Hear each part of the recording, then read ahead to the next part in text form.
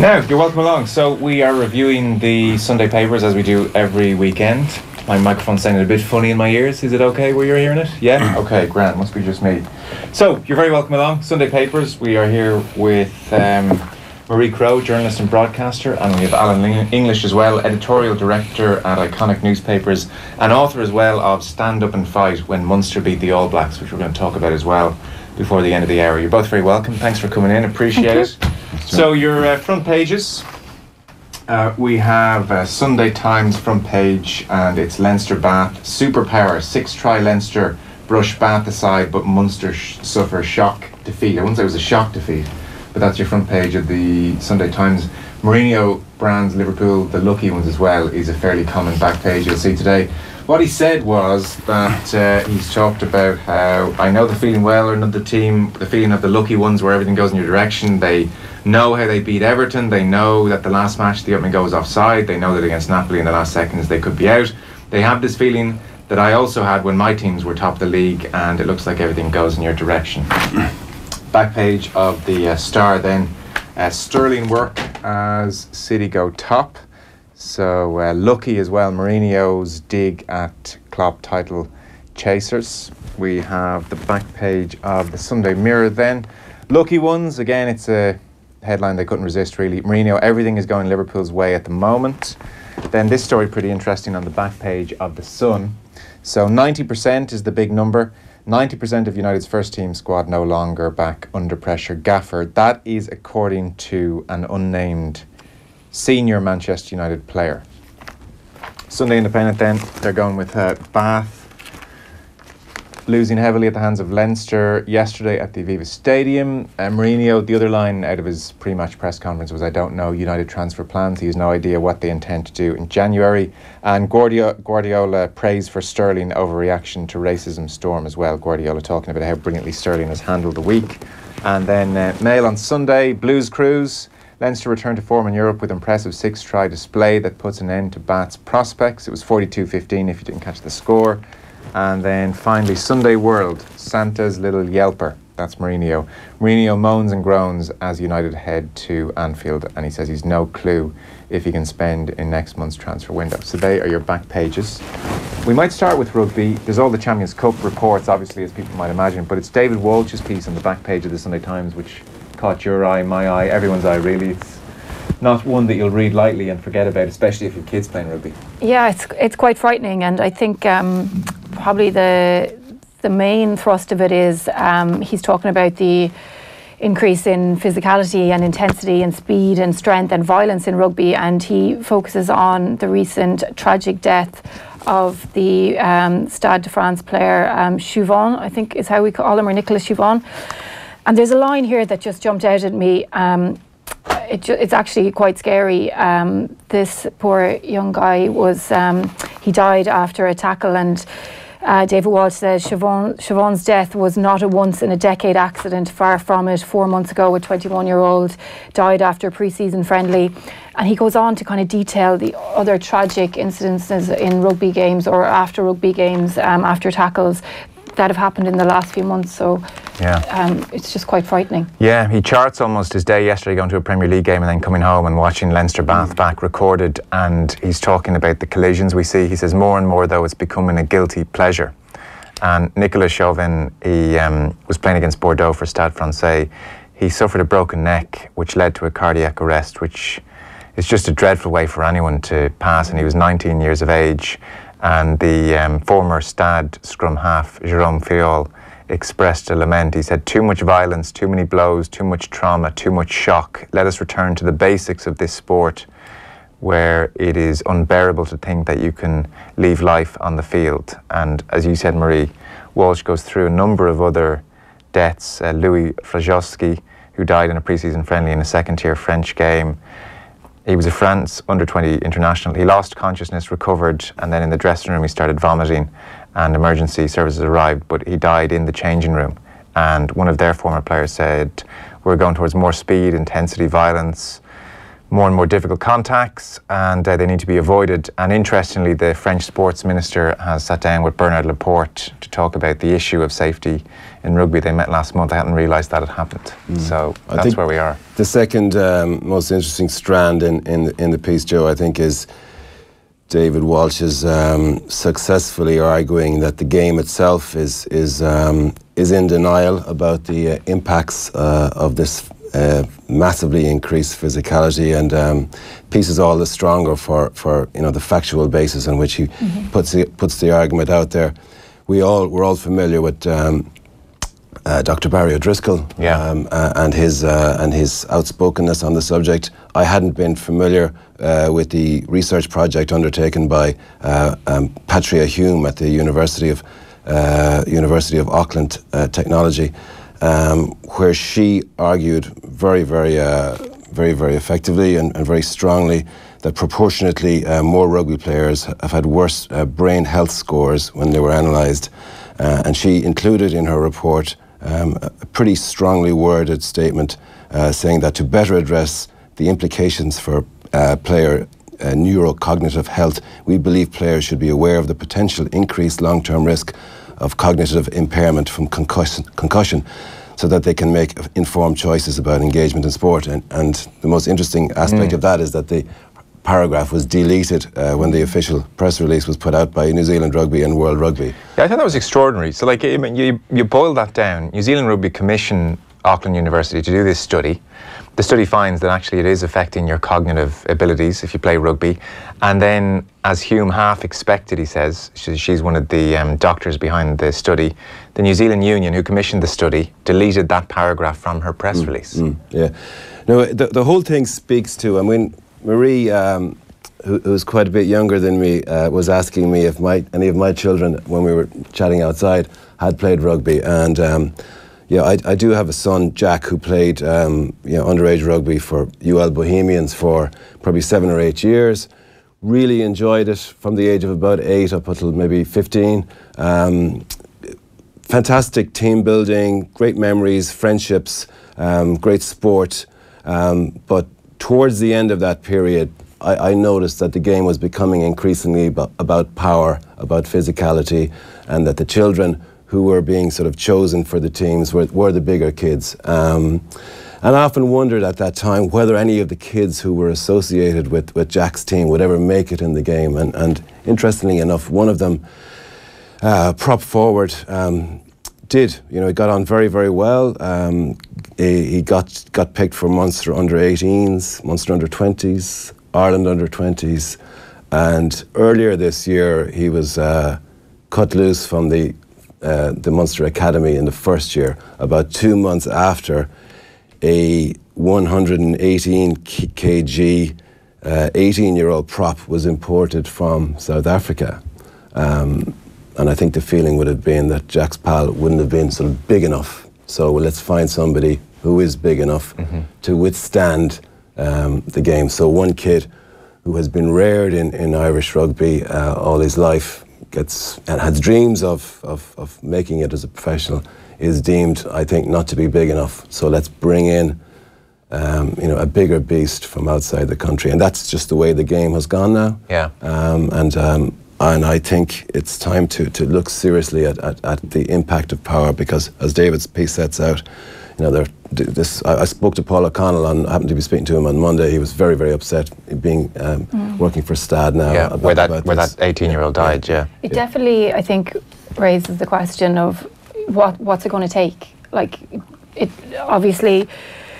When there's young people and they pass away, it often doesn't kind of filter into the mainstream. Mm. Like it, it, it, tends to be, you know, a big name, a big story, a, a big player. Like when something serious happens to them, um, I have kids as well who play rugby, and um, I'm almost embarrassed sometimes telling people that they play rugby. It's like I'm being a bad parent, or that people are going to judge me because I'm letting them play rugby. Now they're only four and six, and they play down in Terenure, and they love it, and it's great, and they're just running around mm. playing. The hits, um, hits aren't quite as big no, at four and six. No, they're yeah. just. I think the six-year-old might be learning how to tackle now. Like that's about it. But yeah. um, I now look at these uh, injuries and these tragic stories with I suppose kind of thinking of my own children with that in mind. And I remember back in September looking at um, Cornell du Preez, the Scottish um, back row suffered this horrendous inj- injury where he um, fractured the cartilage below his Adam's apple and he damaged his voice box and he was in hospital for four weeks and he couldn't speak.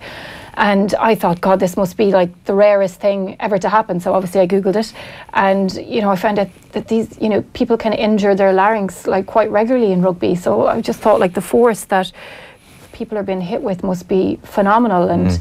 um, you know, that all comes into my mind when I'm reading these and when I'm thinking about it. And, uh, you know, I wonder what will the effect be on Yeah. participation in time. that's the really interesting question. So there's where there's a few different strands. There's where rugby goes at the professional level, where it's bigger and stronger and faster, and will they have to change the rules of the game just to make that sustainable almost for the mm. players? And then there is what it does to participation, because mothers and fathers all over the country will read a story like that and will think to themselves, well, is it worth it? You know, mm. does rugby give things that many other team sports also give?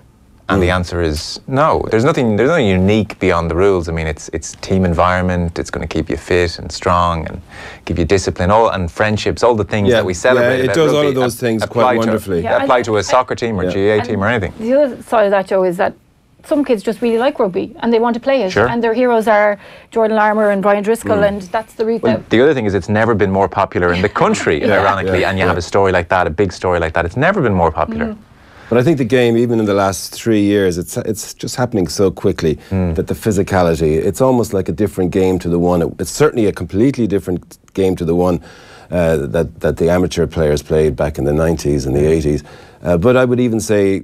From five years ago, it's almost a, a big, a different game again now. It's just, and it's gone too far. I think it's just. Uh, Difficult to row back on now, though, isn't yeah, it? yeah, and, and, and, and as David points out in the piece, you know, nobody has uh, nobody has come up with a solution to how how do you stop this runaway train? You know, um, how do you stop a situation whereby you know people's um, work in the gym seems to seems to Yeah. be And uh, skills of yeah. strength and conditioning coaches Yeah. and Yeah, programs and And then you have a scenarios where we see in South Africa, you have this under 18 tournament uh, that has uh, recently produced six positive tests for uh, um, anabolic steroids.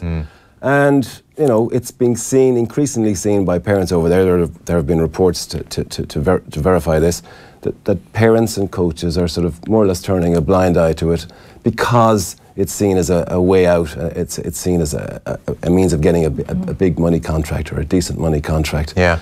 And, um, and we're, we're buying into that. We're, we're, we're certainly importing plenty of players from, from, from South Africa, young players.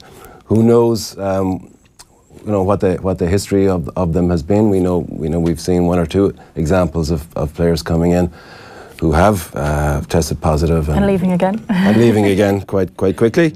Um, Well, they wouldn't have left if there wasn't a media True. furore, is the truth. True, yeah, Is yeah. the- The media, the media, is the practical yeah, truth. the media Yeah. storm took twelve months to erupt, though, didn't it? Yeah, yeah. and Did you? I, I think Grobler signed during a Lions tour. yeah, yeah, And and then was was quiet. injured for a Yeah, sustained yeah, and then when he started to play, and then yeah, when he left, he did say. But there've been plenty of others signed since then, and we don't know really. I mean, coming from that, coming from that culture. um, Let's not name one, names One here. would have to be. Uh, we won't know, but one would have to be, um, you know, uh, um, somewhat careful. Well, certainly it seems South Africa don't have their house in order, and there is a culture if teenagers are doing it, and there's adverse findings at the local talent Mm. get together at that age. And as someone said at the time, I remember Martin Ziegler was writing about it.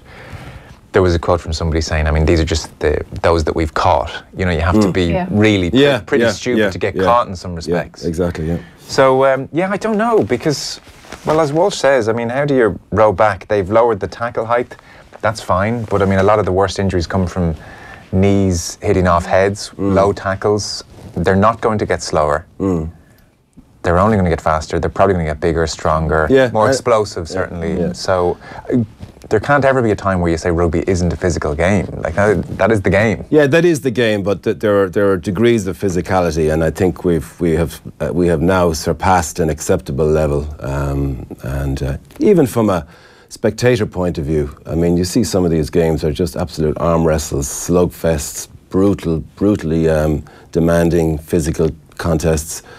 They're enjoyable on one level, but I think um, French rugby, the French rugby that we all remember with fondness, was the flair, the flair game. Um, not- Running into space as Yeah, opposed to running yeah. at the man. yeah, exactly. Back to basics, they Yeah. say here, isn't it? Yeah. Okay. Well, it's a terrible week. I mean, the publicity for rugby has been uh, bad because there was a minute silence held for this player before every Champions Cup game all weekend. So the whole rugby fraternity across Europe has watched the minute silence and seen a 19-year-old's picture up on the screens around stadiums. So Yeah. Does it get into the public sphere though? don't know. Does it resonate with people that might not be as interested in?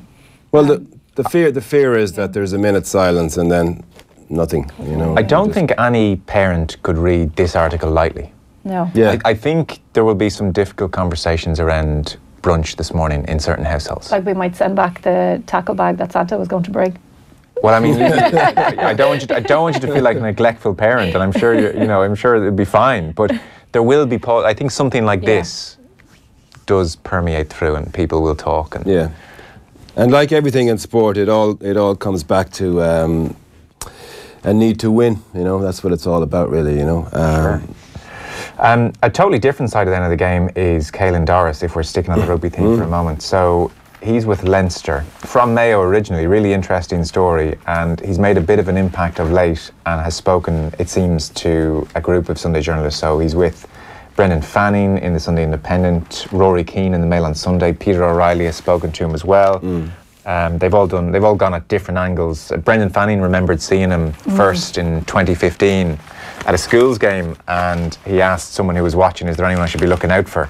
And I guess it ties in with the conversation we've just had. But one of the uh, wise old folks on the sideline said, "Your man over there, pointing at the Blackrock number eight, straight into the Leinster Academy. He's a beast." The young man in question was Caelan Doris. So I mean, he's from the most rural of rural Mayo. The language is interesting there, isn't it? He's a beast. So totally, it ties in what we're saying. Yeah, it's Such, a, such an important word when you're playing rugby, I think. Yeah. Um, yeah, this was interesting. Um, I, when I there's so many young players now coming through as well that it's nice to actually get these interviews um, with them. Like Rory O'Loughlin yesterday scored the try, and I wasn't sure I knew too much about him. But you know, when Yeah. someone because I've read this now, um, you know, I, I know all about where he's came from. Uh, the bit that I really enjoyed was the bit about um, his mum and dad being. Um, I think they're psychotherapists, is it? Or The area. Yeah. And his dad done, uh, did this fascinating thing where he spent 40 days and 40 nights on the top of Croagh Patrick. He's an artist. And he was asked about it. And obviously, for the dad, like this was a really important thing, like a massive part of his career and his life. And Mm. um, Doris didn't really seem to know what he'd done. so Yes. I thought this was hilarious. It was such a, a father father son kind of thing as well. You'll kill me for not knowing this. It was kind of a conceptual art thing. dot dot dot something. I thought that was great. Yes, so he really enjoyed his father's work there. You his listened to everything he yeah, said. his father's with Mayo County Council for uh, a number of years. It was a social sculpture where he interviewed everybody who climbed up uh, Croagh Patrick across 40 days and 40 nights, which sounds kind of interesting, I have to say. Pretty fascinating now. yeah. I think Ca- all, all three journalists have, have done a, a a good job on it, Joe. Yeah. Um, Good content though from him. Good, yeah. Because I- it was one- a little bit different. Yeah. it's easy to imagine them coming away after the piece going, we've got something here Yeah. that we can get our teeth into. Um, Well, I would think they do quite a few of these that don't always make it into Yeah. the Sunday Yeah. papers. Without a doubt. I mean, interestingly, there are different aspects uh, about Doris in each piece that doesn't that don't make it into the Mm-hmm. you know the others. Um, and uh, so that's that's a, a sign that they were picking and choosing their material. But it, what I find amazing, really, you know, coming from Limerick and, and, and Munster, where you know we're, we're, we're uh, we've got a good back row at the moment now, but uh, we, we don't have back rows um, left, right, and centre as they seem to have in in Leinster. And and the talk now is that he has already gone past Max Deegan, Yes. who only uh, months ago was being spoken as, as as the coming man of, of the of the Irish back row. You know, Yeah. it's just extraordinary the uh, the talent that's being produced. yeah. The fact as well that he's in college and he's um, studying psychology, I thought was quite interesting. And they, all three of the interviews that I read on him, make reference to that and the fact that mindfulness is a big part of um, Leinster and what they do. And Conor uh, Murray mentioned that recently as well. Yeah. He's into it. Seems they've all the all new thing now. sure is avocado and mindfulness. That's what us millennials are. Yeah, Joe, Joe Schmidt has uh, owned the moment in front of your face. Yes, that's exactly. isn't That's, it? that was works Paul O'Connell's big change, wasn't it? Yeah, yeah, that's He win the works it into his day every day. Like he finds time to use the app, so it's obviously almost a prescribed thing. But Yeah. like if he's studying psychology, he obviously has an interest in um, in the mind and the workings of the mind and the effect that it has on performance. I suspect the reason Leinster have put Caelan Doris out at uh, the age of 20 is it looks like he's going to be involved at the RDS over Christmas. So you'll see him against Connacht potentially. So it, it's well, he's one to look out for, I think. Uh, he's from Lacken in North Mayo. He Yeah. says, middle of nowhere, 500 people live there, 10 minutes from Killala, about 20 minutes from Ballina, which is a proper town. He says, I grew up in Lacken, went to school there. There were only two people in my Yeah, class. that's great. Yeah. two people in my class of 35. Yeah. His parents moved uh, from Just Dublin. one person to throw the ball to. Unfortunately for Connacht, his father went to Blackrock College, hence Yeah. the, uh, the Leinster capture. I wonder will you get that now, like because there isn't as many boarding schools that kids might not be shipped off to the rugby boarding schools Yeah. from the small towns anymore, Mm. and, and likewise with the hurling, you don't have the, you know, the St Flannan's boarders coming from all around Limerick and Tipperary. Will that be a, a something that will die out? Because his brother Yeah. went to King's Hoss for a while and then went to Blackrock as well. yeah. I thought that was interesting. So that that's how he made such a it. Boarding His, school, yeah. his dad went, went there, and I think his dad before him. So it's a family thing. They all went to Blackrock. Tradition. and I mean, it is. It's like you know, life is just about circumstance, isn't it? I mean, if he had hung out in Lacken over Mm. those four or five years of secondary school, he would not be playing for Leinster at twenty. No, no, no. no. Might be playing for um, Mayo. Yeah. Yeah. exactly. Yeah, he did uh, flirt a little bit with Ballina Rugby Club, but it was first year in Blackrock where he really seemed to get into it. So that's Caelan Doris. That's worth uh, a quick read, and it seems like he'll be playing for Leinster over the uh, next couple of months. We'll come back to rugby later on. There's a few bits and bobs there, and we'll talk about Alan's uh, update of stand up and fight as well to mark the 40th anniversary of 1978. But uh, for something totally different, Raheem Sterling has dominated much of the week. I am. I've talked a lot about Raheem Sterling this week. It's been a huge story. Yeah. I certainly was interested to see how the Sunday papers would try and cover it, and it was a tricky one for the Sundays because this blew up literally this Yeah. day last week. Yeah. We covered this on the Sunday papers last week because it was this time last week where Raheem Sterling had put up his Instagram post. Yeah. and it's kicked Yeah, off it was a lot of brand uh, then, yeah. navel gazing and soul searching, but it is still very much a part of the conversation across the Sundays. Eamonn Sweeney, I think we all thought was good. Yeah. Um, Eamonn's was good because he kind of took a little bit of a different, um, a different stance on it. Uh, I think he you probably sums it up a little bit in the intro when he says that Raheem Sterling is right about the media being partly responsible for the racist abuse he received at Stamford Bridge, but he's only partly right. The English media behaves horribly towards almost all footballers, not just black ones. Focusing solely on the racial aspects of this behaviour lets the perpetrators off the hook to a certain extent. So that was the intro to Eamonn, and then he went on to kind of give some examples of where footballers had been treated terribly, or um, and also maybe where their, I suppose, the public's perception is formed because of the way that um, they have been treated. And David Beckham was one anyway that definitely caught my mind because, uh, like, I was a huge David Beckham fan when I was younger, and then when they started focusing on his lifestyle and his relationship and him wearing a skirt and um, all that came with that, I kind of did go off him a little bit. Was but wrong? Wait, let's be fair. get it right. I'm not surprised you knew that, Joe. But um, it was after um, Eamonn says that it was uh, 20 years ago. David Beckham was sent off for a sneaky kick on Diego Simeone in a World Cup match after England lost to Argentina in the shootout, and then Beckham was designated scapegoat for the defeat and the uh, derision that rained down upon him. Um, he was apparently the symbol of everything that was wrong with English society, a spoiled, superficial brat who'd let his country down. And like he says it was uh, for a while the coverage of Beckham was one long sneer and it was and um, you know I, I, I as a young football fan I definitely went off and because I was kind of buying into all of that. But it actually reminded me of, of something. The f- it reminded me of um, Steve Staunton when he was manager of Ireland. And it was like he wasn't even a person just all the, the language that was used. He was a clown. He was Yeah, a it was cruel. muppet um, he was um, depicted as Kermit the Frog. You remember the one of the tabloids sent a, a reporter dressed as Pi- Miss Piggy to a training session to try and get a picture of him standing beside Miss Piggy. Like that was real mm, life. Like he mm. was a real person. And I remember being at the Aviva a little while ago and speaking to somebody that was involved with the FAI, and they'd said that the walls really started to go up between the media and the national team after that Miss Piggy incident. Right. That the trust was gone completely because whatever you know relationships they'd had where they'd travelled with teams or they'd been around you know hotels, like it all evaporated after the tabloid Yeah. sent Miss Piggy. So like we kind of forget that these are humans and that they do have feelings and okay they're footballers and you know they earn loads of money but like is that the justification for them to be ridiculed in the tabloids just because they earn a lot of money? And uh, like Eamonn kind of references that quite a lot that you know fame is incidental to the real business of football which is helping the team to win matches and do they deserve this attention Yeah. and ridicule? I, I think maybe the key line, one of the key lines, certainly in, in Eamonn Sweeney's piece, which I think is excellent, is that uh, you know, there is a demand for this stuff. Uh, in reality, he writes, papers hound footballers because the public likes gossip, mm-hmm. preferably of the discreditable um, variety. Um, and and we're all guilty of that, by the way. I know. We are. we are. Of course, we are. And, and and anybody who says, I mean, sometimes as a local newspaper editor, I would meet people all the time will say, well, you know, if you'd only just put good news in the newspaper, yeah. you'd sell a lot more. Absolutely rubbish. Rubbish. You'd be out of business. Yeah, you'd be out no of business. Time. Yeah, It's complete, complete nonsense.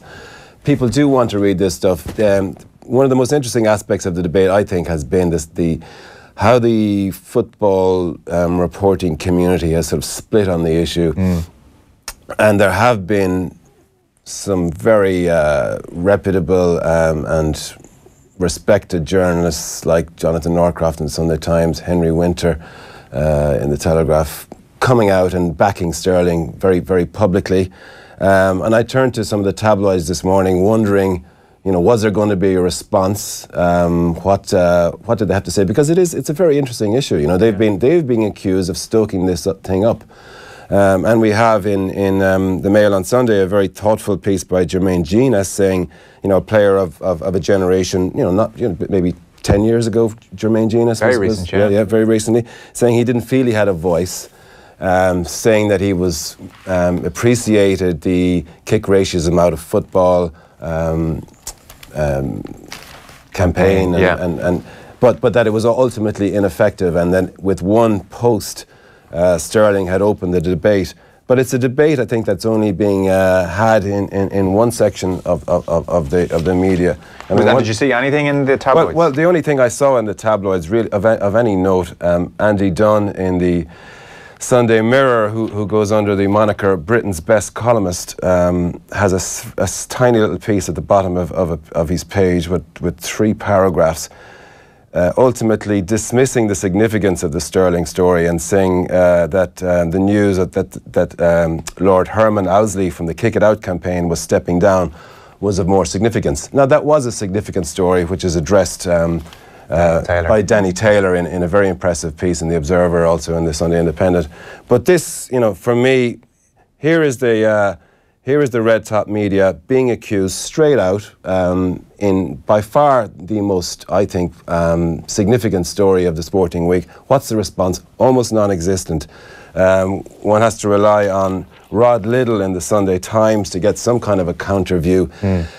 In a piece that um, I think is is is is, is poor. Um, yeah, so Rod Liddle, Raheem Sterling's reaction to racial abuse was very admirable, but he is wrong to blame the media is Rod Liddle's uh, point. He does say uh, we must consider now whether or not invisible bananas exist. It's hard to tell what with them being invisible. Invisible bananas are what John Barnes reckons are flung at black footballers these days in lieu of real ones. And I guess he tries to tease out the issue. He says on the specific, you know, so Sterling has, a, has accused the um, press of overt uh, racism.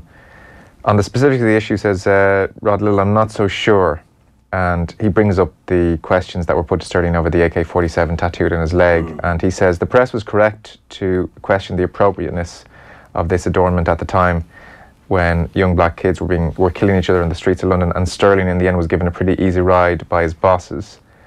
And he said, uh, even more to the point, do newspapers pick on black players consciously or subconsciously?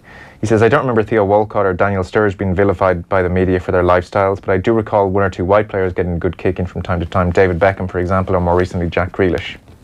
So that's his argument. I mean, well, I, I think I think his argument is examples, and and there was Paul McCarthy had a brilliant piece as well. Well, it wasn't even a piece; it was tweets. He's the former News of the World mm. sports editor, and he was talking about it was a long thread. It's worth reading, but he talked about certain things. You know, uh, bling was very much a code. It was dog whistling. For mm, mm. I did read that. Extravagant lifestyle, and he said yeah. there are black players who quote in the eyes of certain quotients of the media know their place. Yeah, yeah. And therefore they're not attacked. So it's not it's never going to be, as Rod Liddle kind of tries to reason, it's never going to be every single black player will mm. be targeted and no white players will be targeted. That's not how it's going. And I think he lets down his argument by a throwaway line, but but also a telling line. He described the uh, Sterling Post as heartfelt, if not entirely literate. I mean, that is yeah, just pure no snobbishness. That, yeah. It's just um, it's mean, mean, yeah. mean spirited, and um, pretty symptomatic of the overall piece, really. Do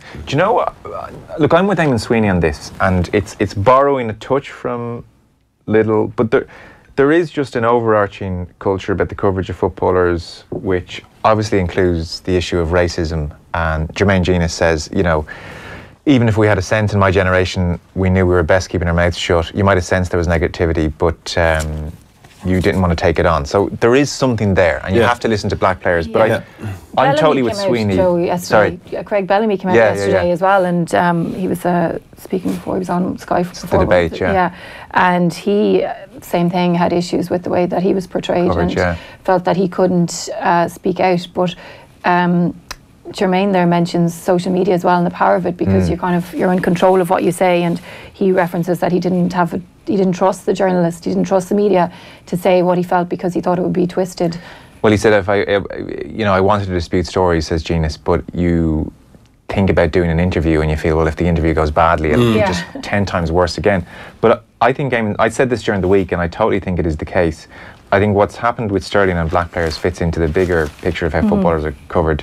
So he says, you know, um, there's a sense of who are they? These uneducated, who are they? All footballers, by the way, not just black footballers. Who are they? These uneducated working class lads Yeah. with their big money, their adoring public, their flash cars, their big houses, their model gar- girlfriends. Who do they think they are? And he says the attacks on footballers are often rooted in not just jealousy, but in snobbery. Hence the frequent description of footballers' wages as obscene when um, compared to, you know, fund managers, bankers, aristocrats, and so on. He says, in the end, it boils down to class hatred. Sections of the English media dislike footballers of all creeds and colours for the same reason the Tory party dislikes the Irish. Footballers don't know their place either. Hmm. And I think that explains how we have the Sterling situation and also how we have the look at Wayne Rooney and the way he Yeah. lives his lifestyle. It's the working class council estate kid. How dare he have all this money and live this way? And this is what happens when working class people get all this money. Yeah, yeah. He's still pissing in an alleyway or he's buying a flash car. Yeah. And I think the Sterling thing is part of that bigger Uh, picture. yeah, and I think the, I mean, I don't want to overly disparage um, red top journalists, but I don't think they, ha- I think they were unprepared for the post. I think, it, and I think he, it was, if, as many people have said, a brave one. God knows it could have gone, could, it could have been received. In, in, in, in, he had no idea how it was going to be received. He had no idea he was going to be sort of hailed as somebody who was um, a bit of a game changer in this in this debate. Um, but I don't think they've been able to really comprehend the underlying issues that have, are emerging um, be- because of because of the response that we're seeing here, and it's it's a pity that nobody really in the section of the media that, that is standing accused has has for what I've seen certainly Yeah. certainly today um, Certainly today, because I, Yeah, it's yeah. been a long week and there have been some pieces. There was a Sun sports journalist, football journalist, whose name escapes me. I'll dig it out. But he wrote a piece during the week, and it's brave because he did say he looked at some of the coverage in his paper, often more towards the front end of the Yeah. paper, Mm. Yeah. news journalist, and he said he felt a bit uneasy and he felt there was a tonal difference between Sterling and maybe what a white player might get. It was a brave piece, right? Mm. Brave piece, he did, yeah, he did write that on Yeah, Wednesday I didn't or read Thursday. that. Yeah, fair play. The to issue as well, whoever it was. though, is that like, dig out his it's name. not like the peop- the the journalists who write for the back of the paper are working off the same uh, school of thought as the people who write for the front of the paper, and like there's very little connection between Mm. the sports journalists and the news journalists, especially now. Everyone's always out and about, or working from home, or working from Mm. um, working mobile. So, like they're two different. They're they're two different. Um, types of journalists as well, but they're all been lumped in under the one umbrella as well, Yeah. which is quite unfortunate. And like I know, I have friends that work for Red Tops, and they get really annoyed when there's something in the front of the paper about the lifestyle of Yeah, the player, sure. and you know they feel that their their craft and their trade suffers because of um, just association. Yeah, Yeah. absolutely. It's difficult for them. We'll see how it all plays out over the next while. I mean, I would think this will die down and not much will change. yeah. there will be scrutiny of stories now, I think. Yeah, did you see from what, um. Well, it's, I'm, I'm glad we've had the debate because Yeah. it has raised it onto a level that we haven't really um, seen. And it like it, some big voices have lended themselves to it as well. And um, Jermaine mentions there that you know we, we spoke a little bit about the kick it out, but it has to be more than just a slogan now. And I think Jamie Carragher made a good point um, on Monday Night Football, saying that just uh, uh, for the racism as a whole that. You have to it has to become uncomfortable for people to write these things and say these things and do these things in stadiums and, and that's just going to take time Yeah, yeah, and hopefully it will be uncomfortable. Um, and we, we and when the first reaction when we saw the, uh, the little video clip and the photograph was the, the, the guy who has since um, apologised for his actions and claimed it wasn't being Yeah. uh, racist and he used the word mank instead of black. Um, but still, whatever about the language that was deployed, it was the hate Yeah. in his face, and, and that has been a characteristic of um, Premier League games um, and, and, and before that, First Division games. I remember being a. Um, Back in the day, uh, I'm a Tottenham Hotspur supporter. Being on the shelf, Condolences. thank well, eh, not not so much now, Joe. Things are, things are on the move here, you know. It's about to blow up in your face, I no, suspect. not at all, not at all. In in in Potch we trust. Yeah. So, but I was on the shelf, which was uh, now long since demolished. It was the hardcore Tottenham supporters in the East Stand, Right. and there was some segregation. There was some sort of iron railings um, seg- segregating one side of it from the next. I happened to defend Gary Stevens, who was um, a midfield player for Tottenham at the time, in the late 80s. He was getting horrendous abuse from a pocket of supporters just to my right. And uh, I just sort of shouted over to a couple of them, you know, shut up, um, support, support him, he's a Tottenham player. And I mean, they practically tried to climb over the, uh, the pen to attack me, you know, one of, one of their own fellow supporters. Abs- kind of, with the kind of hate on their faces that was what we saw in this this this you know prosperous looking gentleman, uh, if you could call him that. Who's lost his job, according to He was his lost his job, actually. and, and rightly so. I mean, I don't think any employer would, would want somebody on their books who's capable of that, that kind of behaviour. If we segue away from that, there is a way to do it very easily. Memphis Depay has given, I think, a really interesting Yeah. interview. Memphis Depay for Manchester United fans is just a byword for the post-Ferguson era, era where a glut of seemingly very ordinary players were brought in by Moyes or more so Van Gaal. Didn't do very much at the club and are either still there picking up loads of money or have uh, moved on. And I hadn't given too much thought to Memphis Depay, I must say, Until we saw he this lovely on. picture of him with his uh, very flamboyant shirt, and he looks like he's having a whale of a time Yeah. there on a yacht The- somewhere lovely. Photo would be described as bling, I think. Yeah, I don't think the photo is in keeping with the piece. That's though. the thi- that is Yeah. the amazing thing, and it Because I ties in came with. away from reading this piece feeling really sorry for him. Yeah. But then I looked at him on his yacht and I forgot about that again. But He's um, in kind of a silk shirt, black with like gold pattern on it, and some silk shorts, and what looks like some kind of French Riviera. looks lovely. is Backdrop. situ- backdrops behind him. The blue is uh, very blue in the sea, and he's got the sunglasses on and his phone. And you think he looks delighted with life. he is just delighted. And it turns out he is a completely different character to what the picture would suggest. Really surprising. Yeah, yeah. He says in the piece that uh, there was a um, a picture of him, a, a depiction of him in the in the media as a party boy. Um, he said he went out only once in one and a half years in Manchester, and it wasn't even fun. Um, and uh, he's very comes across as very thoughtful. So so there is a there's a bit of a link there to the whole Sterling thing. Um, a player who I think, uh, in a way, you could sort of say is one a byproduct of all that is wrong at, at, at Old Trafford. Um, somebody was brought in for a lot of money. Uh, one of many Manchester United players who've been bought for tens of millions, who, who, who just haven't um, who haven't delivered for different reasons.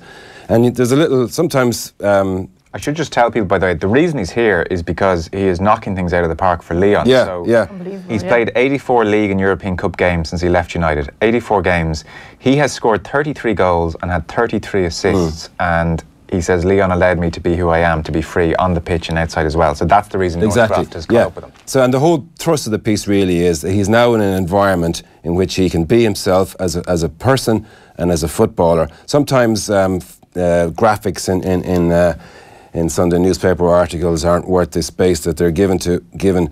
But in this case, we see quite starkly his uh, his career record before he joined Manchester United: 50 goals uh, in 124 appearances. His his record after it, as you said, uh, 33 goals in uh, 91 appearances and, and 35 assists, and then seven goals in 53 appearances for United. So going back to my point about Pochettino, who Manchester United would obviously love to have as uh, as their manager, I am absolutely convinced, having recently read the Pochettino book, um, the diary, the, the year Ian in his life. one, yeah. yeah, yeah, terrific book, um, underrated book, I would suggest. He doesn't like oranges, is that right?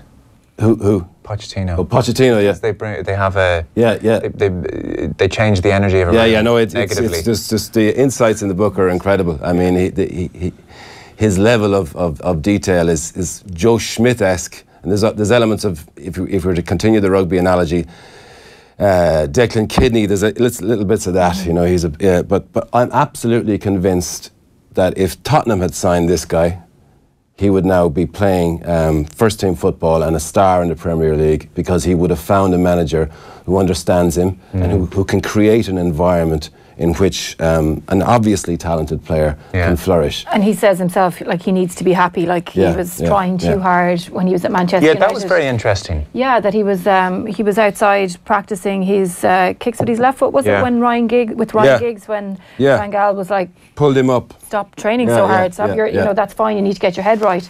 But um, what I thought was really interesting was that you know it took him so long to be comfortable with his. Um, with his personality, and you know, he's not just the kind of um, one-dimensional footballer. He likes writing songs. He likes elaborate clothes. He likes glamour music, and um, he posts Chri- he's a sensitive Christian. and, yeah, and soulful messages. Um, and he's no longer hiding. Uh, the individual individuality is the key of life. And just after I had I had read this, um, I was on my phone looking through Twitter, and Roy Keane popped up on Sky, and he was saying that footballers shouldn't be interested in anything else except for football. So he's obviously on Sky today. Um, I think he must have been talking about the Man United players, and that should be their sole focus. Then- Pogba, I would wager. yeah, the underperforming Manchester United players. And then there was Gary Neville, and Gary Neville was saying that um, Jesse Lingard shouldn't have launched his clothesline on the week. He his line of clothing, clothesline, um, on the week that different they're- clothesline from our lives. yeah, that's what I was thinking. I better clarify what a clothesline is in a in a sports chat. Um, his line of clothing on the week that Manchester United are playing Liverpool. So I think that there's probably. Um, that this kind of highlights that there is there's a generational thing now Mm. that players are no longer, you know. I think when Gary Neville and Roy Keane were playing, there probably was only black boots that you could get, whereas now you can get all different colours boots, Mm. and players are um, they're exposed to an awful lot more things in life than than maybe Roy Keane and um, Gary Neville were, just in in terms of like media and what we've access to and Yeah. all the rest, and that players are no longer just like Roy Keane and Gary Neville. That there are players now like um, Memphis here who wants to be a little bit, a little bit different. Mm. Yeah, like I don't think there's a massive generation gap in a way between, say, my parents' generation and my generation. It was, it, you know, in broad terms, as Yeah. much as can be, it was a Yeah. similar-ish existence. But of course, there's going to be such a generation gap with the first generation who've had mobile phones Yeah. in their hands from Yeah. year dot. yeah. Like, like they're going to be wired Yeah, no, so and- differently and to that, Gary that Neville comes and Roy across Keane. uh, loud and clear in the Pochettino book that uh, he understands that the generation of players, the 18 year olds, 22 year olds, even 24, 25 year olds, um, that he is trying to, um, you know, produce good football from, are a different Yeah. mindset. Um, interestingly, uh, it, it, there's a point there I hadn't realised. There's some sort of clause in, in the deal when uh, Memphis Depay went to Lyon. There's a some sort of buyback option that Manchester United could get him back. Yeah. But it was absolutely pointless uh, in him going back into uh, into the environment that we have uh, Miserable, there at yeah. the moment. yeah. yeah. Um, it was, it was, it was interesting as well to see him kind of say to Mourinho, like, I'm going to prove you wrong. Like, you know, you're going to want to buy me back. Like, I'm going to get back to the top again. And like, he's he's doing that. Another point as well was that I was. Um, I was reading the intro and um, what has changed for Memphis Depay, sipping coke and nibbling olives in Lyon's Old Town. Like, what a great job Jonathan Northcroft has heading off there to interview him. Yeah, well, he, he- he's, you he's get big names Yeah. every week, actually. Yeah, well, Northcroft. he's you know he's, he's um, I, I I used to work with Johnny at the Sunday Times. He's a good guy. He's personable, um, and I think he understands um, the mentality of of, of, of footballers. He had a great piece a couple of weeks ago with Robert Huth, which uh, Paul Kimmage was very Yeah. frustrated with because it was it was excellent. Yeah. Huth was every bit as interesting and giving as Depay is.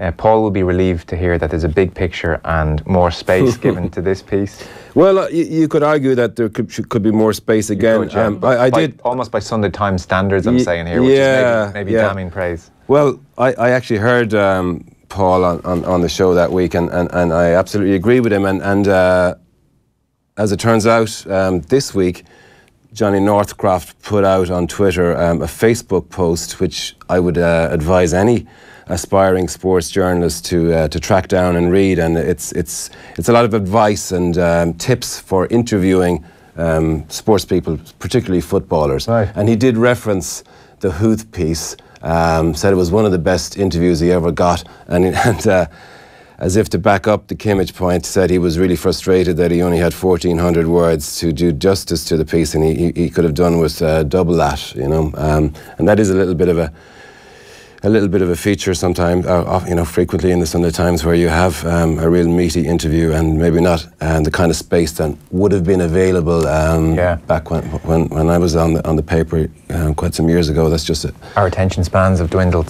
Um, Yeah, So we're going to have to pick through some of the stuff at, at relative speed. Stick with us for this one because Ellis Genge plays for Leicester Rugby Club. He's somebody who's maybe knocking on the door of Eddie Jones's England squad, and he's done a two-page spread in the Mail on Sunday. We wouldn't normally pick out interviews with rugby players that most of us aren't that familiar Yeah. with, but actually this is well worth a read and. Uh, there's a, a a nod to the week that's been with Raheem Sterling in his piece. Uh, effectively, he thinks that rugby has a massive class issue, and if you're working class, your face does not fit. Yeah, um, this is another good one, um, just in terms of kind of the intro and and um, and what he got out of the player. Like straight away, I was hooked on this because um, because of his intro. Uh, Nik Simon said that he was in his apartment. So like straight away, right, this guy's got something to. Yeah, say. yeah, He's yeah. let Yeah. the journalist into his apartment. So we're going to get something here because it's not a top table, it's not a press conference, it's not something Yeah. that you're going to see in three other other papers. So like you could just tell, and he even says it that um, he had something to say and that he was he was upfront about wanting to talk about a couple of issues. Um, so yeah, he kind of details his own background and how he felt he struggled. Um, he struggled to get on teams and he puts it down to, to working class and, and not to race and to culture. And um, like again there was a few times where like I felt a little bit sad for him a little bit little bit like um, Memphis. And he says um, when I was younger I never felt comfortable sitting in the clubhouse having my chips and sausage because I felt everyone was looking at me thinking who the FUCK is this um, and then he goes on now then he's obviously got very comfortable with himself because he's wearing his gold tooth for the photo shoot in his living room um, if I turned up at the rugby event wearing a gold tooth and chain, I'd be judged straight away. Why should I be judged? This is what people wear. I like it. Mike Tyson was my hero. So, Mm. So I'd say it's hands down the best interview yeah. uh, in all the papers today, Joe. Um, When I was 16, 17, 18, I never made any of the age group teams. When you think about that, you know, because where he's sudden, where he's ended up, I feel that's because my face didn't fit. I'm not white middle class. I'm working class. I don't want to put it down to race. I don't think it's about that, but I'll put it down to culture, the way people are raised and brought up. There's the private school mold in rugby. It's stopping the game from progressing. It's painful. I have friends working in scaffolding sites back home who are quicker than Jonny May. That's where football and other sports have cracked it. Yeah, I mean, he just puts it all out there. I mean, it- it's just relentless. Uh, Relentless, yeah. Yeah, yeah. And uh, there's, there's a line here there's F all money in rugby. I'm 23. I've got zero cartilage. My shoulder has been ripped off the bone, and I'm renting out this flat. And then he, he brings an Irish angle into it. Yeah. The guy who lived here before me, uh, Dom Ryan, Dominic Ryan, former Leinster player, retired at 28 because his brain was fried. Uh, he means because of concussion. Yeah. And he had nothing to fall back on. Who knows what I'll do? I mean, it's it's it's just And he's so, remarkable um, honesty. He's, he speaks as well about his family. His uncle is in prison. Um, he's away for murder. He himself has got a few um, warnings from the police. I think in the past he's spoken about moving from Bristol, where he grew up, because of the bad influences um, in his life. He's got arrested. A few of his mates have got arrested. Um, and he's just so happy to talk about everything. He's like, you know, come on, get on with it. What do you want to talk about? Like, you know, no need to beat around he the bush says, he says Eddie Jones calls him the gangster, uh, Yeah. as he does anyone who's not from a private school. That's that's going to come back to Jones. Mm, mm, yeah, mm, absolutely. That- yeah. Of all the lines in it, there's lots of lines in it. yeah. But he says Eddie Jones calls me a gangster, and he uses that name for anyone who's not from private Yeah, school. yeah. There will be rugby journalists Yeah. scouring back to check if that's true, and if it does happen to be true, then Jones will be asked about it. He's told as well. Leicester aren't going well at the moment. He was talking about flying back from Paris last week with people tweeting him about how poorly they're going. Yeah. And he says, uh, "I know we've lost." I've got to sit in the plane and think on it for two hours when I'm caffeinated out of my effing eyeballs. Yeah, yeah. Now, maybe Nick, given the O'Driscoll comments last week, it seems like Ellis Genge was in the mood to talk. Yeah, Yeah. yeah. Painkiller issue might have been brought up He- there, I he- think. Uh, He brings Yeah, it up here yeah. as well, yeah, because he, he doesn't, Yeah, he can't he feel does. his kneecap. Oh, yeah, yeah, yeah. He's lose the cartilage, and he said I took a few painkillers and thought this isn't enough, but I stopped. Is there a drug? I was quite freaked out about it, but I'm used to it now. How many times do you not want to feel your knee anyway? I touched my left leg instead. Yeah. So he's. And, Uh, and and it's not as if he was unaware that this was going to potentially become um, a talking point. The very first line of the piece, a, a direct quote, I've got a few things I want to talk about that might erupt. Yeah. But he, there was actually um, Ruaidhri O'Connor from the Irish Indo tweeted a quote from him yesterday, and that's why I my interest was piqued on this. Okay. So he seemed to do an interview as well yesterday, and um, he's just talking about loyalty in the game, and there's no loyalty in rugby, and managers get thrown out, and Yeah. players go here and there, and he doesn't play for he plays for his family and his friends because he doesn't know where he's going to end up playing. So That's on page 80 and 81 of the Mail. Um, Yeah. my first thought reading this was we have to get this guy on the show. Uh, to be yeah, yeah. Amazing, Ellis Plenty to Genge. say. Yeah. Yeah, Uh, Mullinalaghta were the story of the week in many respects. They were on the Late Late Show. They were great on the Late Late Show, by the way. Did you see it? I didn't see it. One of them got up, and it's a tough thing to do for a lad in your twenties. And they are these are always stiff occasions where the whole team walk on, and Ryan Tubridy's doing his thing. And in fairness, Tubridy can be quite good in those scenarios and tr- do his best to put them at ease. One of them sang a Mullinalaghta song to the tune of that Liverpool song about Europe, which has blown up in the last while. we've conquered all of Europe. now, Yeah, isn't do it? it, and it was just slightly bizarre to watch the Late Late Show going nuts, clapping at the chorus bit, and so he had a song about Mullinalaghta's win. So they've enjoyed it. Um, have yeah. So how have the papers gone about it today? John Greene ties their success in with the Páirc Uí Chaoimh controversy, which is Mick Foley's writing about Yeah. it, and Michael Clifford has a very good piece in it as well. Yeah. And you liked what Anne Sheridan did in the news section, I know, Alan. Yeah, well. well- so well, a I few c- different strands. Yeah, quite a few different strands. I felt there wasn't uh, in the sports pages. I, I just felt here's an opportunity for um, potential award-winning piece. You know, fantastic story. Uh, I, I didn't really feel that there was a. Um, a defining piece in, in any of the sports sections um, that I read. Um, Sunday Times didn't cover it at all. Um, Sunday Independent covers it.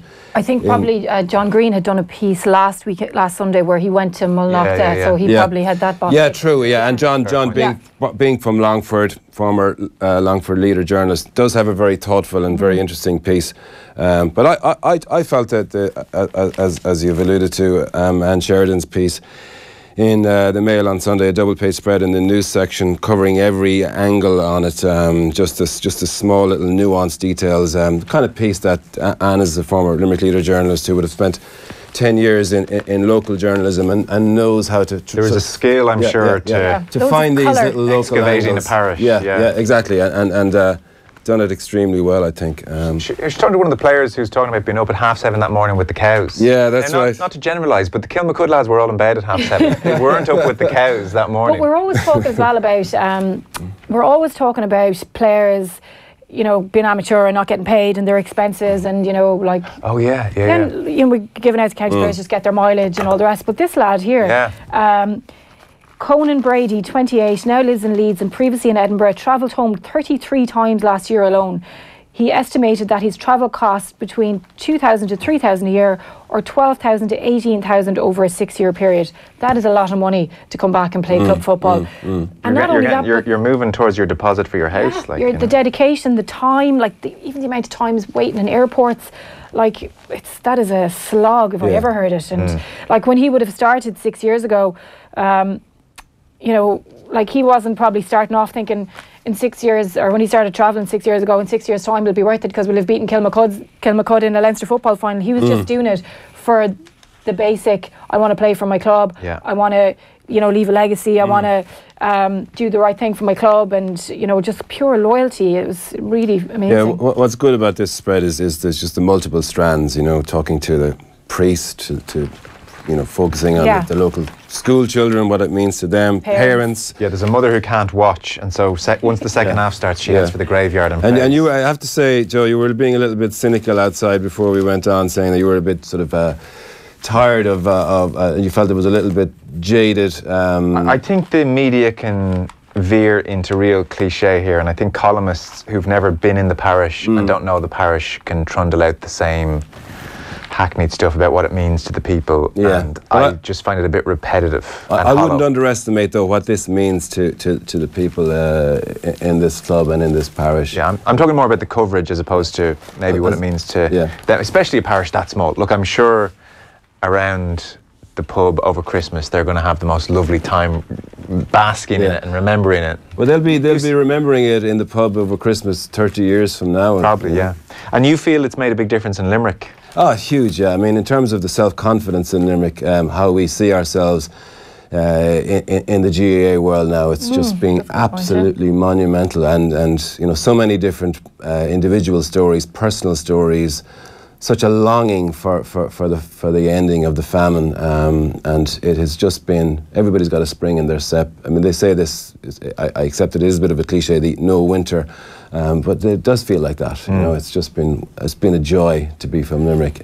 Well, look, I'll, I'll, I'll trust you. When, when Kildare or Mayo win in All Ireland, I'll probably have Well, an this is, this is an interesting question here. Um, John Greene reckons that Yeah. this story is the most heartwarming GAA story of the year, surpassing even that of Limerick's All Ireland hurling yeah, well, success. S- spoken like a true Longford you have a man. yeah. poll on that one, I'd say. and- Look, JP McManus has bought this All Ireland. Isn't that what I hear now? Is that the no, word? No, no. Let's put he's put in place uh, some some some some good uh, academy structures, and you Yeah, I know they've done a fabulous job in, in hurling down there. The numbers playing at underage is quite extraordinary.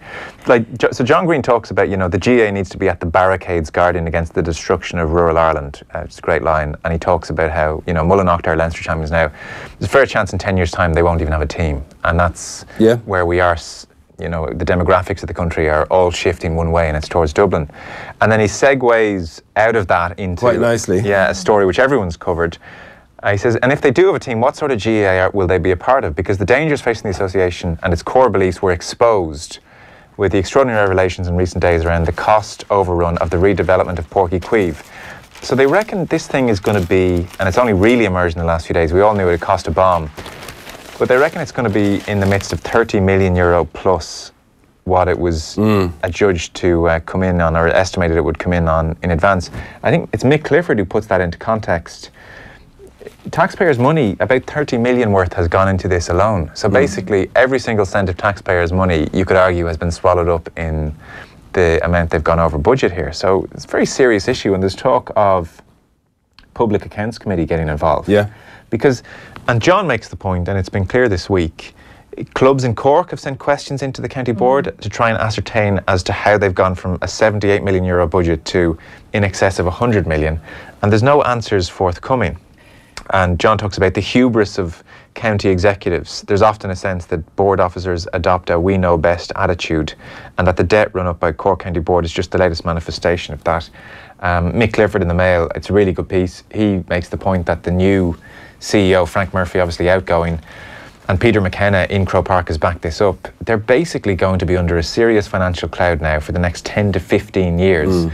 And this is a county where seemingly underage structures have been neglected for some time. And Mick Clifford makes the point like, was the stadium even really needed when you look at what else is around Munster? Yeah. He- and he says Kerry's six pitch centre of excellence in Currans has eight dressing rooms, two physio rooms, auditorium, a gym, 30 metre sprint track, all of which cost 7 million compared to the 100 million plus that Páirc Uí Chaoimh has cost. Uh, this thing has really blown up this week, hasn't it? John, I think, uh, used a really good word there, exposed, Yeah. because I think it kind of nearly took everybody a little bit by surprise. Like we, people kind of knew that it wasn't exactly perfect, and you know, financially, but like when you're looking at millions and millions over budget or over expectation um, when it comes to debt, it's pretty shocking. Um, and I, John, uh, he actually did this piece really well because. You know, at the start it was really heart heartwarming, and then you know we were all really worried by the end of it. But Yeah. um, he uses the, the quote here from Peter McKenna from the GAA. It became clear in the middle of the year that the amount spent on, spent on the stadium way exceeded what people thought. Um, that was Peter McKenna told the Irish Examiner.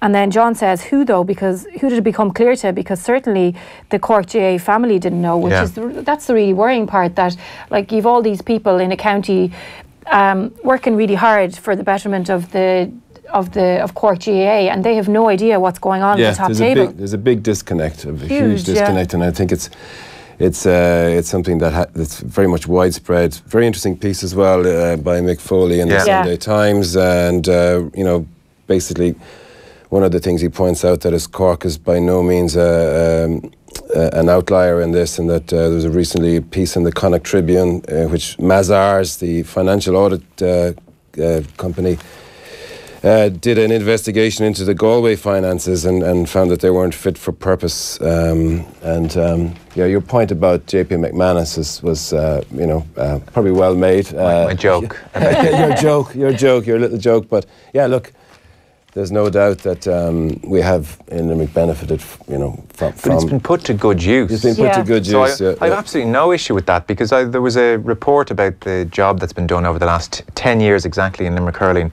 and even in the city. I think they've effectively doubled or even just over doubled the number of Hmm. hurlers in the in the city under the age of 14, 15. So Yeah. Yeah. for me, that's a massive Yeah, yeah, and, success. and that's did it only well. good. A lot of credit uh, goes to Joe McKenna. That's uh, right, yeah. f- for that, and um, I think Liam Brady made the point recently, didn't he, that um, um, Joe McKenna and the Limerick team went over to Highbury when he was in charge of the academy there, and they sort of tried to learn from the best. And Na Piarsaigh as well, though. That's entirely different. Yeah, yeah, the Na Piarsaigh as success. Yeah, yeah, That's yeah. entirely different to this, where. But I mean, Galway's is Clifford's talking staggering. about Galway. Yeah, I think that's going to blow up. Yeah. Um, Mm. The um, Páirc Uí Chaoimh thing, 110 million reckons Mick Clifford, and it was meant to be 70 million when it was first floated. Mm. In one of the articles, um, they make the point that um, Frank Murphy had said in 2014, actually, it's here, that um, we have taken a conscious decision, even though GAA headquarters are still wondering about it, there will be no bank borrowing on the redevelopment of the stadium. So that's what he had hoped for, like just in, you know, not that long ago. Mm. Frank Murphy, by the way, has been confirmed as the secretary of the Páirc Uí Chaoimh Stadium Committee. This is just days after the overrun was exposed. So uh, last night, Cork's County Convention confirmed the development, which will see Murphy take on a prominent role in the wake of his departure as county secretary, says Paul Keane. So uh, Frank Murphy will still be very much involved with the stadium. If the Public Accounts Committee get involved, given the 30 million euro of taxpayers' money spent, and you could think of many ways to spend 30 million, Mm. then that will be a big news day when I presume Frank Murphy would appear before Well, them. there's certainly people need to be held accountable for this. You know? Yeah. I just explain it for a start. I mean, Yeah, no where one's, did it go? Yeah, yeah, Yeah. no one's no, legally, no one's suggesting something Because- untoward happened, but 30, Yeah. 40 million over budget when it's taxpayers' money demands an explanation. And you mentioned that you know what everything that Kerry have, there's six pitches, and um, in one of the reports as well, it says that there's a state of the art gym down there. I've seen it, but there's just one pitch. And for like two or three years there, when the weather was really bad, we were hearing all these stories about Cork not being able to get any pitches to train in and having to travel the length and breadth of the county, and some players having to travel two and a half hours from West Cork to try and find a pitch. And like they only have one pitch now as well, which is um, it just kind of raises another question. you know. Yeah, yeah. So that's that is uh, all over the papers today.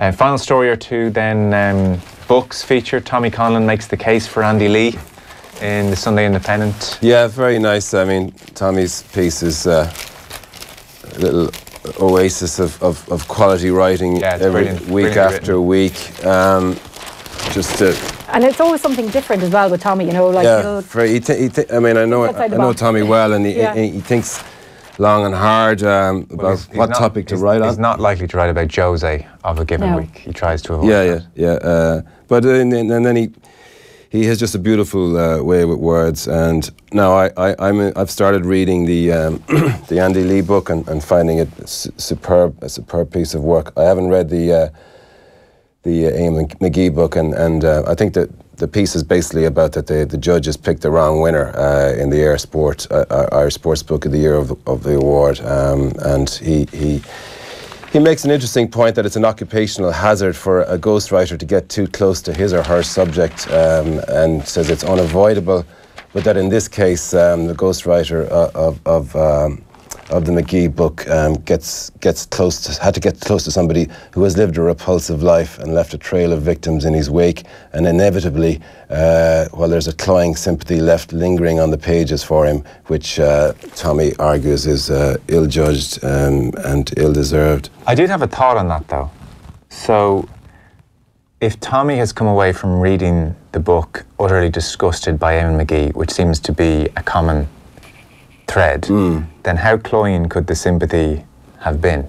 He clearly has been presented as a fairly terrible character. Yeah, well, I suppose one would have to. I haven't read the book now, Yeah. so It's just- it's a question I'm gonna have as I read it as well. Yeah, Um, I mean, he makes arguments as well that really Eamonn Magee, unlike Andy Lee, did not leave, live the fight life. Basically, he was a part-time pro. His hmm. chosen sport, chosen life, ran two separate parallel lines. So he says the sporting story is spread so thinly across the book it disappears altogether for long stranges. In fact, it only gets a passing mention here and there in the first hundred pages. Basically, it's a voyeuristic tale of one man's degradation, with a bit of boxing thrown in as a hook on which to hang all the other sordid episodes. Hmm. So for him, it's not a sports story. Is his argument? I don't. I haven't read it either I haven't yet. read it either, but um, wasn't that the same argument that was made for um, Declan Lynch's book as well? That it was Tony Ten. Yeah. 2010, yeah. Yeah. that it was not a Yeah, well, I have read, I have read Tony Ten, and I, I I wouldn't have any difficulty in, in, in describing it as a sports book. Um, I, I, my, my sense is, and, and uh, my sense is that is that the Magee book is is, is, is a compelling and um, you know very very strong piece of work. But Well, if the scene he paints in the opening of his piece from the Magee book is anything to go by, you literally can't put it down. It's horrific. Mm. He doesn't like. He doesn't make me not want to read it, though. That's the thing. That's he the makes me want to go out and get it now. straight Yeah. after I- this. ironically, Tommy, I, I desperately want to read the Eamonn Magee Yeah. book now. yeah, After that, yeah. But I, I think uh, everybody should also read the other two. I mean, I think the point he makes, and um, uh, a lot a lot of people would agree with it, uh, is that all three books on, on the air the Air Irish Sports Book of the Year Awards shortlist were, were of yeah. an exceptional. to be fair to him, international standard, he says. So this is not. There's always that horrible thing where you have to slightly talk down something brilliant to put your own case forward. I think the general consensus has been all three were Yeah. genuinely excellent this year. Meanwhile, Declan Lynch very magnanimous over in the yeah, main yeah, section. yeah, yeah. Always uh, Very entertaining. another actually. column that uh, I'd never miss. Um, yeah, he, he has a sort of a sidebar piece in his main column, which also has a sporting connection, where he talks about Gary Neville and the and the Sterling issue. Um, but the, the piece that uh, I liked best was where he talks about. Uh, being a three-time loser, uh, his Baby. book, was, baby, Baby. his book was nominated for three different awards, and uh, he, he he didn't win any of them. Um, Only uh, Declan Lynch write a column. yeah, yeah, yes. I mean, the, the, the I mean, Tony. For those who haven't read it, Tony Ten is is a superb piece of writing. I mean, it is just.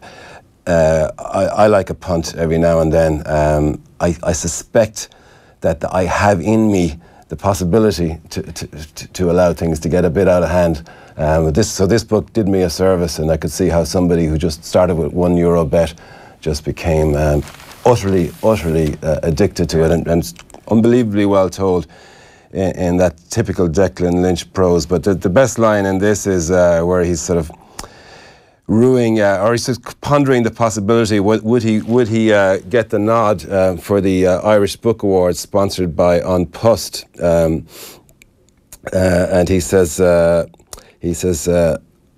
I would probably have been feeling quietly confident about winning with Tony 10 were it not for the fact that, in the grip of a gambling addiction, one of us had stolen 1.75 million from the sponsor. Tony 10 being the, uh, the postman who. Uh, I liked uh, I liked the use of the picture as well. It's a footballer with a Ronaldo-esque type body with Yeah. the jersey over his head, and I presume it's because he's just missed a goal or something like Yeah. that. But I can imagine that's how um, Declan Yeah. is feeling. But not, not, not a, I mean, having having sc- scored a you know a, a- fantastic line with that, he, he finds a way to make it even better. Then he say, he, he talks about a conversation we had a friend who's quite big in corporate Ireland, and he thought they speculated maybe An Post would want to make a sort of statement about this being a, a, a moment of redemption, and they might want to be associated with such a such a moment. And his friend thought about it for maybe a quarter of a second and said no. No.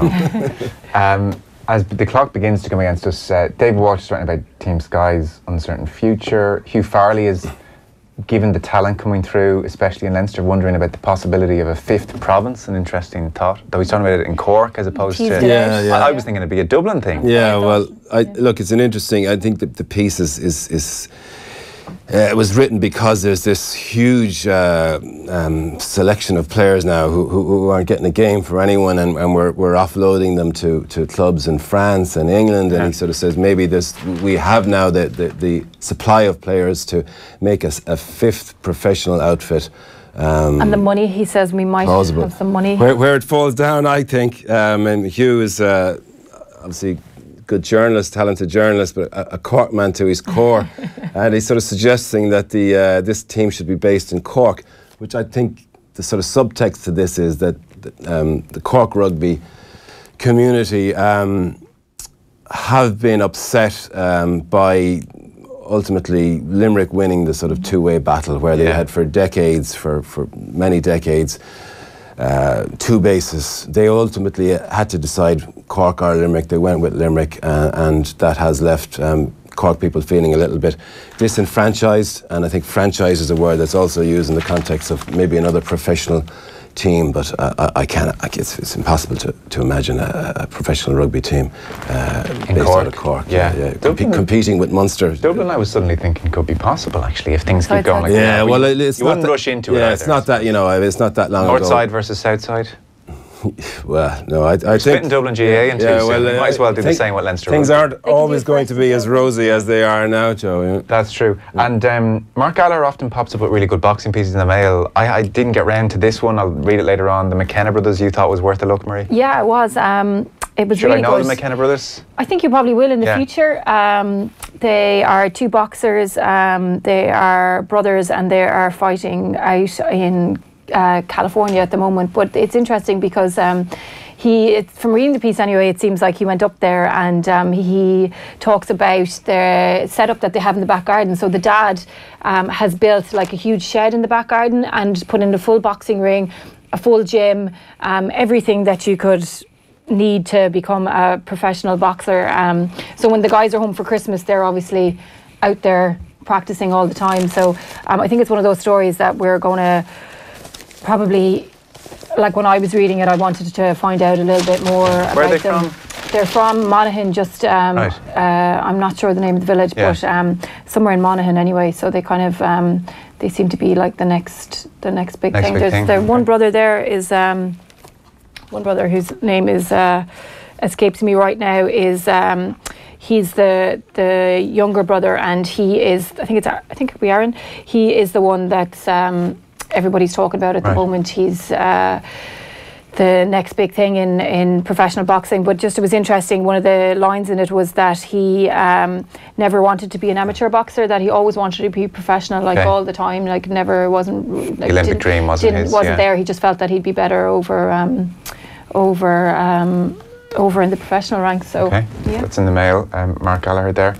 Alan, one of the reasons you've trekked up here as much as you uh, desperately wanted to get up early, come up, read a ton of papers, and give up your Sunday afternoon beyond just the, the appeal of that was you're very passionate about your 40th anniversary updated edition of Stand Up and Fight when Munster beat the All Blacks. I'll hold it up there because I know lots of you are watching Facebook and Twitter and Periscope. Periscope. So, uh, talk to us about this 40th anniversary.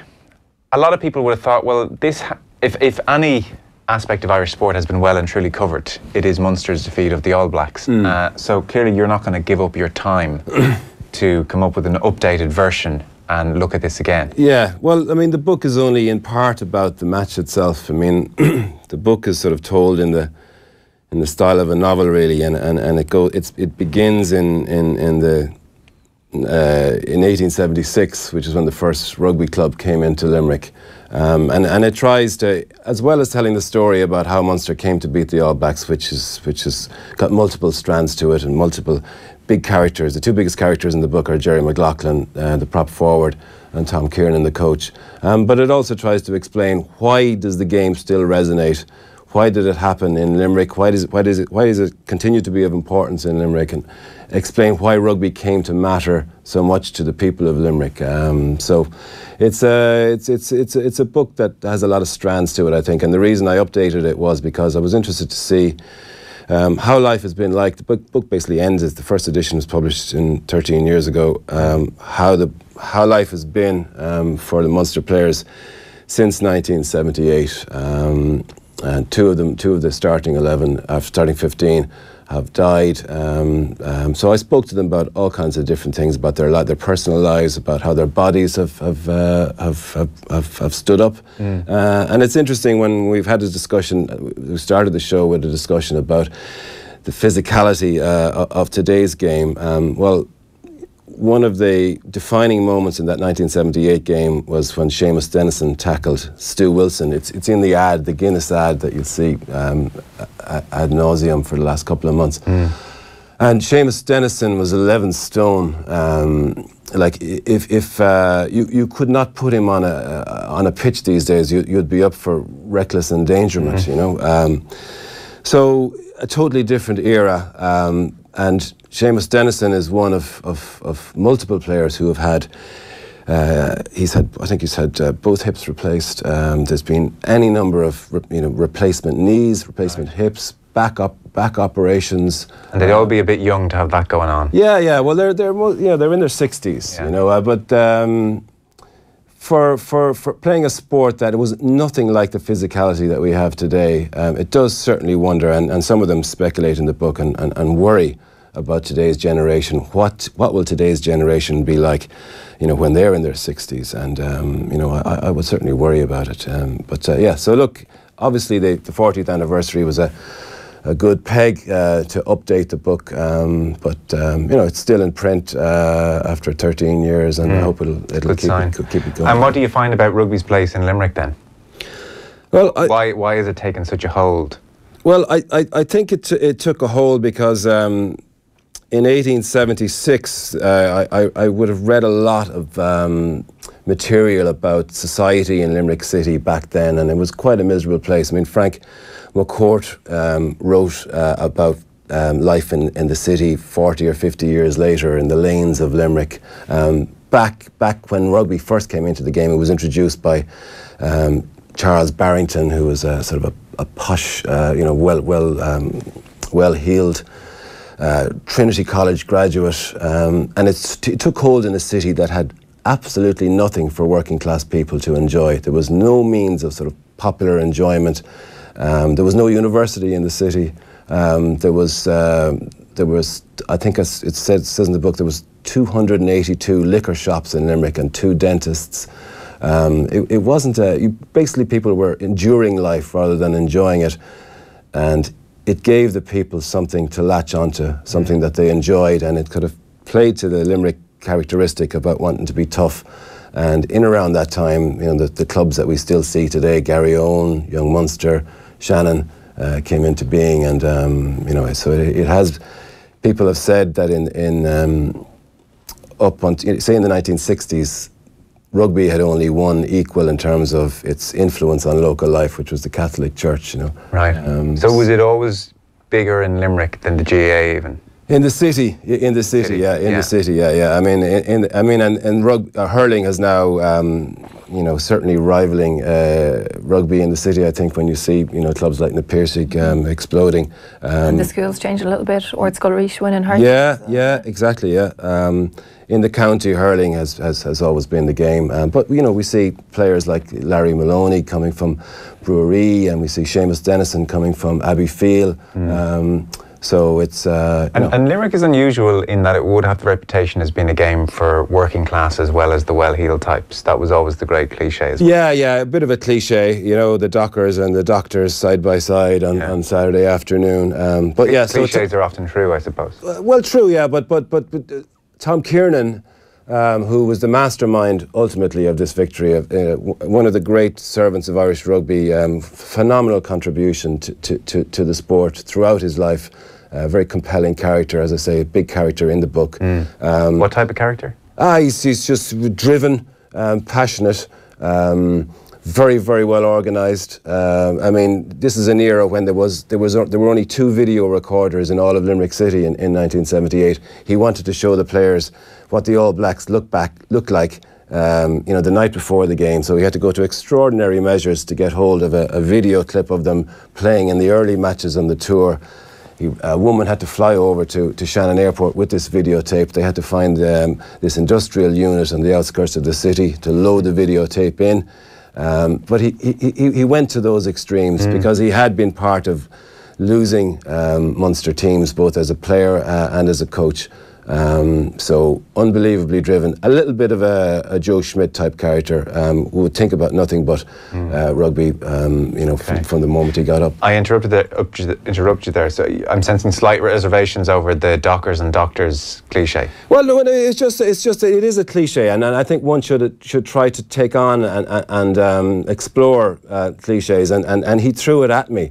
Uh, He, uh, the first interview I did with him down in Cork, uh, he said, "I'm sick and tired of listening to this. Nobody has an explanation for why it happened." You know, so I, I kind of saw that as a challenge. You know, you know why did rugby take hold in Limerick? And it was only when you investigated and looked into what the city was like when it took hold that one could understand why the, the game came to mean so much. I certainly think the lack of a university um, was, was, significant, um, and, and Limerick is a very work and still is to this day a very working class city. Mm. Um, so um, yeah, I, I, it's it's it's certainly one of the uh, areas you explore. Areas yeah, very interesting. And what's um, what's 78th place then in Limerick rugby now as Ireland have beaten the All Blacks, and it, I guess with each passing year it feels like that bit further. Yeah. Away and well, look, I, I, it has its own it has its own legend. You know, I, don't think it's ever really going to to dim. Mm. Um, it's uh, you know the different the players. One of the sections uh, in the, in the updated edition. Um, uh, there's a, a, little cameo where all the players are in the, the new East Stand in 2008 when the new Thomond Park is being uh, opened, officially opened with the, the game against the uh, the All Blacks. Yeah, and of course the night of the haka with the Munster. Yeah, the players. famous yeah. haka, and um, Munster, of course, leading with five minutes to go, and uh, Moss Keane. Uh, Moss Keane sort of commented, all the players were together, and he says, "I hope they hold on." we've had enough of this bloody thing now.